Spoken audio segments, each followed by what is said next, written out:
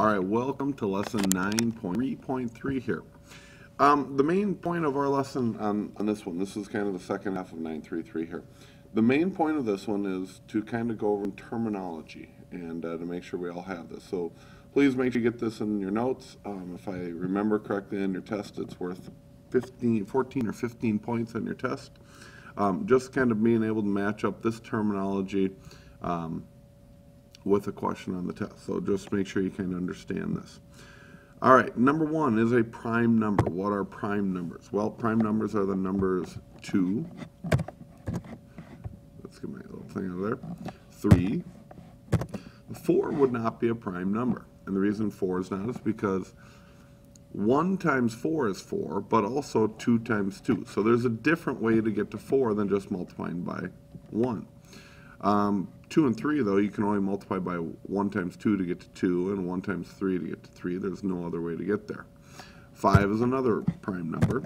6 would not be. In fact, you're going to notice 4 was not because you can multiply by 2 by 2. 6 would not be because you can go 2 times 3. All even numbers from here on out will not be prime numbers. Um, but other prime numbers would be 7, not 9, because 9 would be 3 times 3, but 11 would make it, and then 13 would make it, 15 would not, but 17 would, so on and so forth. Those are what the prime numbers are. We're only, the only way to get to them is by going 1 times the number to get to your prime number. If that is your only way to get there, is by multiplying by 1, then that's a prime number. Which means composite numbers. This should be kind of a simple thought for y'all. Composite numbers are going to be those numbers that are not prime. For example, 4,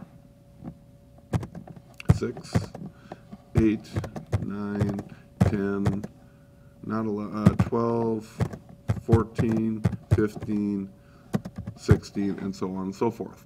And so composite numbers are the numbers where something else besides 1 can multiply to get to those. So you have options on how to get to those numbers. Hang on here, I've got to pause the video for a moment. All right, and I'm back. Now, sorry about that. All right, now talking about rational numbers. What are rational numbers? Well, rational numbers are all of your prime and composite numbers. So prime, whoops, I don't want to put that up there. Let's put this down here. Would be your prime numbers would be your composite numbers. They would be your integers, which include all the negatives, integers.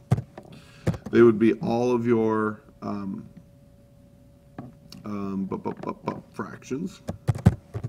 Any fraction is a rational number. So you might be noticing um, Rational numbers are the numbers we've been dealing with our whole lives, okay? Prime numbers, composite numbers, integers, fractions.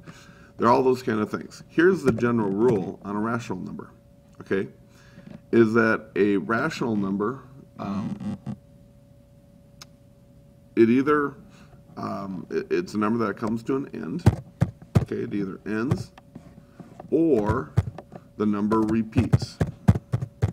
What do I mean by repeating? So if you think of like one third, one third is a fraction that would repeat it. It comes out to be 0.33333. You can predict the next number.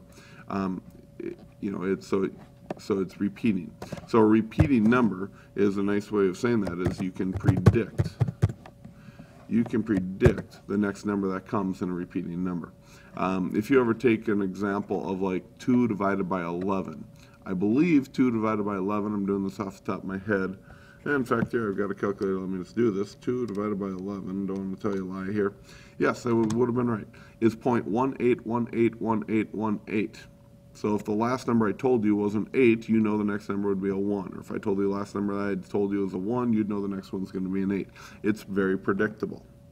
So rational numbers are numbers that either end or they repeat, which means take a guess what an irrational number would be. An irrational number would be one that never ends and, not or, but and, never repeats. Okay? The most famous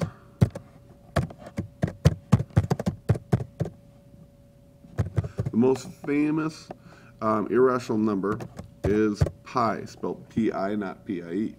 So the most famous rational number is pi. Um, that's one we know of. It's 3.14 dot dot dot. Some many of you know that far more than I do, and I don't really care because it's not that important to know it to the two thousandths digit. But if you take a look at pi, in fact, many uh, some people have. They've even ran computer programs on pi. They've brought it out to like the millionth digit, and it's still not repeating. So um, people have really been obsessed with trying to prove that it could, and, and it just never does. So pi does not ever repeat. But there are more numbers that don't ever repeat. So for example, um, I'll get back to the numbers I'm writing down here in a moment.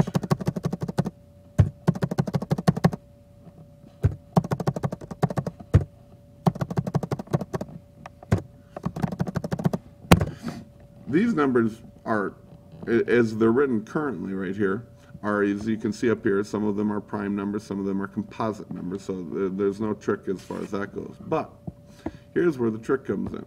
And I want to take something here. We're going to make this an infinite cloner right up here. Okay, but the square root of 2 is an irrational number. It never ends, it never repeats. The square root of 3 is a irrational number. The square root of 5 the square root of 6, the square root of 7,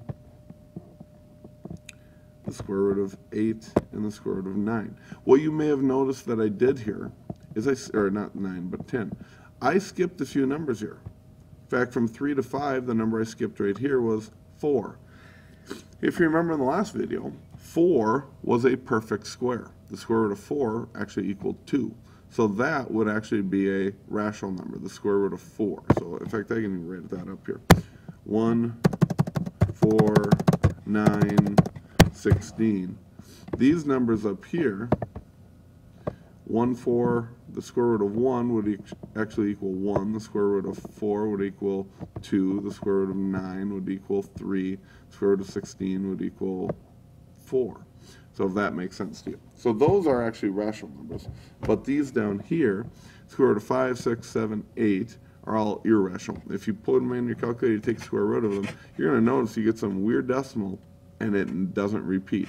And if you've got uh, 2,000 hours on your time, go ahead and take those up to the billionth digit and uh, learn for yourself that it never repeats. Otherwise, you can just trust the computers that have done it before you. All right, so those are your prime, your composite, your rational, and your irrational numbers. Um, a terminating decimal less than 1. Well, let's just think about the terminology there. Terminating means that it comes to an end. The number ends. So, for example, a terminating decimal less than 1 would be 0.3. Another terminating decimal less than 1 would be 0.125. Another terminating decimal, if they ever had it, would be 0.45376, or whatever I just said there, 453.267. If it comes to an end, that's a terminating decimal less than 1. There's no number in front of the decimal, and, and the decimal stops. Okay? A non-terminating decimal. Well, what does a non-terminating mean? It means it never dies, it never ends, it never comes to a conclusion. Something like that would be a 0.3 repeating. One third or 0.3 repeating would be one that never ends. You know, it's a non-terminating decimal, less than one. You could do two thirds. That's another one. But you know what another one would be? Would be the, uh, um, nope, I'm lying about there. So, you know, so numbers like one third, one, two thirds, um, or if you go to your elevenths and take one eleventh, two elevenths, three elevenths, four elevenths, um, are other ones. Um, another one, which are much harder to see if you do it, would be like if you take three sevenths, three divided by seven, you get a weird number that repeats every six numbers, but it's hard to see that on a calculator. But uh, four sevenths would be one that does repeat, even though it's hard to see it on a calculator. So, all right. So that is your list right there of uh, numbers and terminology that you need to know and understand. If you have questions, please come and see me. Otherwise, we'll see you tomorrow in class. Bye-bye.